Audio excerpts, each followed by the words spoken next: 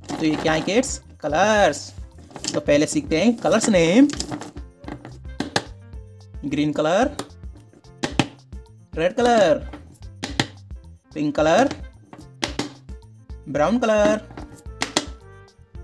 yellow colour black colour blue colour तो आइए kids गिनती लिखना और पढ़ना सीखते हैं. रेड कलर एक। क्या किड्स ये? एक।